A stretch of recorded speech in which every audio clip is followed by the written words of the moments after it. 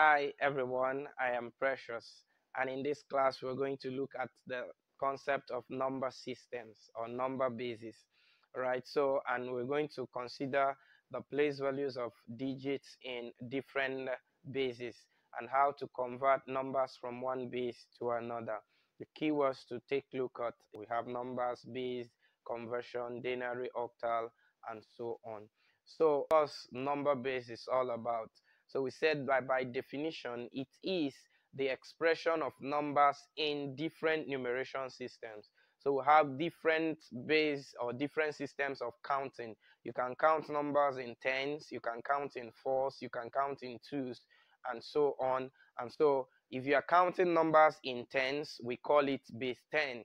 That's the common use, the commonly used uh, system where we have the counting from 0 to 9 and then the next is 10 and after 10 10 and 1 is called 11 10 and 2 is called 12 and so on.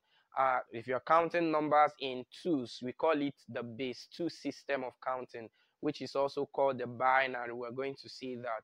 All right so and how do we write numbers in bases? Usually we will write a number for example 13 in base 10 is written this way Okay, so you write the base as a subscript using letters. That doesn't mean we cannot write it using uh, digits, but we uh, the reason why we decide to use uh, letters is that to avoid mistakes because someone someone might want to write say 13 base 4 now and we mistakenly write it as 13 and 4 this way which is no longer base 4 this is now 134 and so to avoid this mistake, we choose to write bases with letters. All right. So in writing numbers, of course, we make use of digits. And so the digits of a, a given system is important that we look at it. And so for base 10, which I talked about, you have 0 to 9 as the digits that we use in writing numbers in base 10. And so you can see that the highest digit here is 9. And so it is with every other base system or number base. The highest digit you can find in any number system is always 1 less than that base. Meanwhile, remember that base 10 is also called the denary system or the decimal system, while the base 8 is also called the octal system. So you can see here now the highest digit is 7. And for the binary system, which is also the base 2, the highest digit is 1. And so in general, like I said, the highest digit for every number base is 1 less than the base. Okay, so we want to now look at how to find the place value of a given digit in a particular number.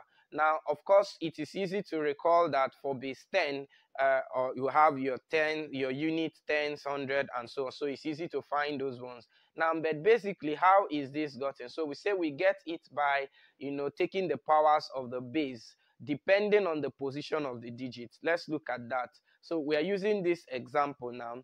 So find the place value of 3 here. Now, how do you first of all find the position of 3 in these digits, in this number? So what you do is to first of all give the numbering, starting with 0 from the last digit from the right, then towards left. So this is usually the 0, and then this is the first, the, the, the position of this is 1, position of this is 2 and 3 and if there's another one you have 4 and so on. And so to find the place value of 3 here now I will pick the 3 multiply it by the base and then raise it to the power of its position in that number which is 2 in this case. And so if you simplify this 10 raised to the power of 2 is 100 and so 3 times 100 gives you 300 and so the place value of 3 in this case is 300 but if I decide to change this base to any other thing, this 3 will not retain that place value as 300 and that's why it's important that we look at this. So let's look at the second example here. You have 5 to 6 base 8. So what's the place value of 2 in this case? Of course, you can see here now that the position of 2 here is 1. And so I will pick the 2 times 8 raised to the power of that 1.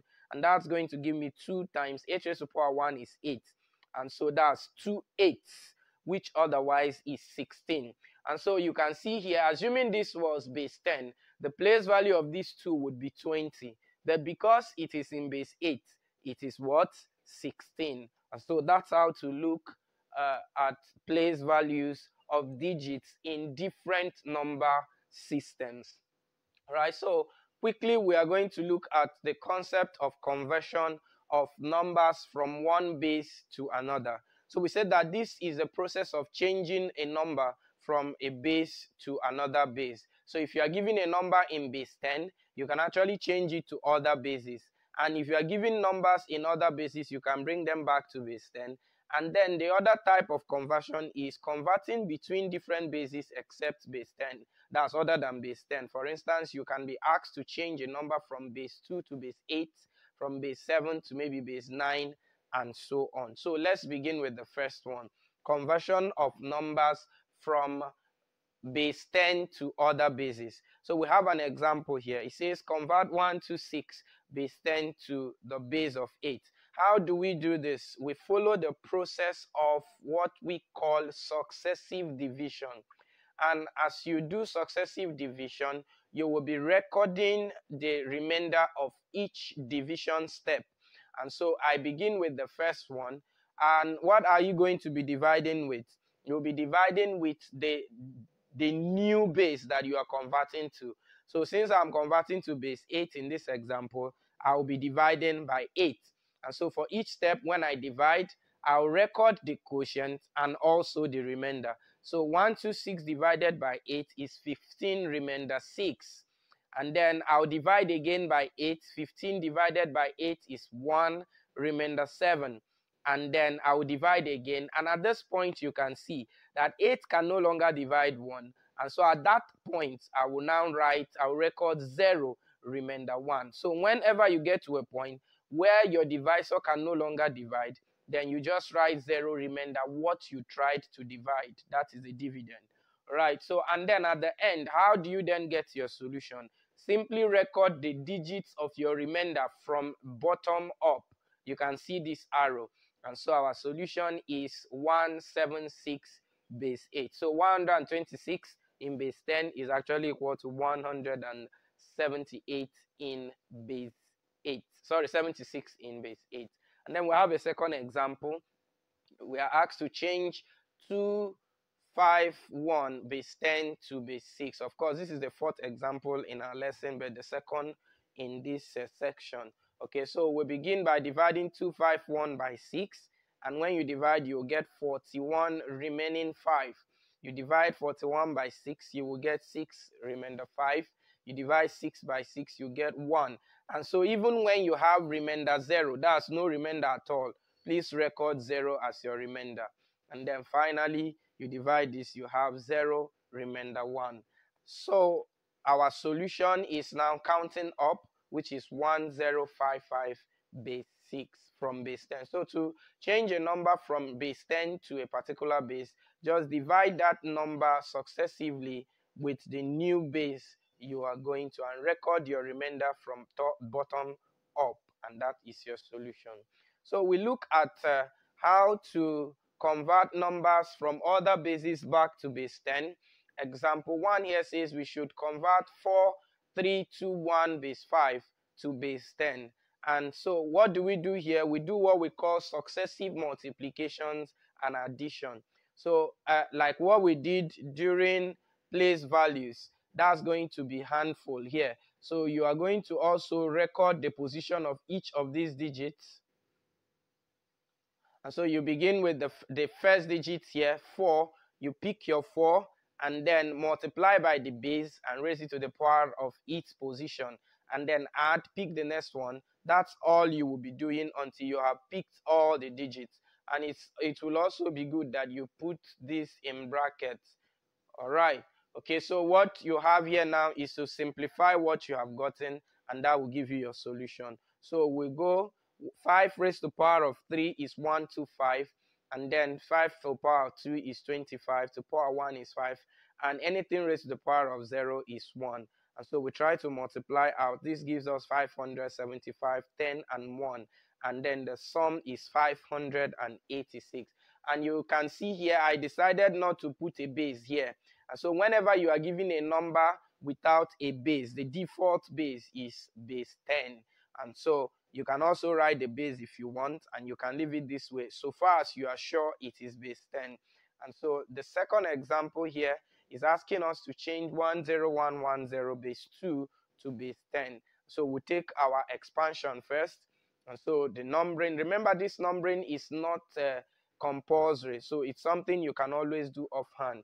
And so I will, this is my 0, 1, 2, 3, and 4. And so that's why you have, you pick 1, multiply by the base, raised to the power of its position, which is 4. When you do it for all, the next you simplify. 2 raised to the power 4 is 16. 2 raised to the power 3 is 8. And then this is 4, 2, and 1. So when you multiply out, this is 16. 0 times 8 is 0. This times this is 4. You have 2 and 0. And the sum of all of these gives us 22 in base 10. You can see here I decided to write my base. All right, so that's how to convert numbers from other bases back to base 10. And finally, we look at how to convert numbers between other bases other than base 10. This other concept requires two steps. And the first is that, of course, base 10 is like a door. In fact, you cannot do without it. So you would need to come to the door and before assuming you're going out, before you decide where you are going, the door is important. So, and that's this first step here. So you first of all take whatever you are giving here to base 10. And then from base 10, you can move it to any other base as required. So in this case, we are moving from base 3 to base 2. So first of all, move from base 3 to base 10. And that is exactly what we did here. So our normal expansion, this is 0, 1, 2. And so we expand it this way. We simplify. This will give us 9, 3, and 1. And so when we multiply, 9 times 1 is 9, 3, 2 times 3 is 6, and this is 0. And so we have 15 base 10. And so from base 10 now, we can then convert to base 2. So which you divide uh, successively with 2, which is our new base. And that will give us 7 remainder 1, 3 remainder 1, 1 remainder 1, and 0 remainder 1. And so when we count up, our solution becomes 120 base 3 is equal to 1111 base 2. And so that's just the simple step. First of all, come to base 10, and from base 10, we can go to any base at all. And so that's exactly the step here, 301 base 4 to base 7. And so what do you have here? First of all, expand. The position here is 0, 1, 2. So you pick 3 times 4 to the power of 2, which is the position, plus 0 times 4 is to the power 1, and so on. And so when we uh, simplify this, we'll have 16, 4, 1. And that gives us 48. That's 3 times 16. This is 0 and this is 1, which is 49 base 10. And then from base 10, we move to base 7 by dividing successively with 7 and that gives us 7 remainder 0 you divide again 1 remainder 0 you divide finally you have 0 remainder 1 and that gives us our solution here as uh, 100 that's 100 base 7 all right and that's where we'll end it uh, for this class. Kindly go through and ensure that you don't have any question and if you do you can always let us know. So kindly subscribe to our youtube channel uh, please do like and share our YouTube videos and you can find related uh, videos in the description below. Uh, we'll see you in our next video. Bye.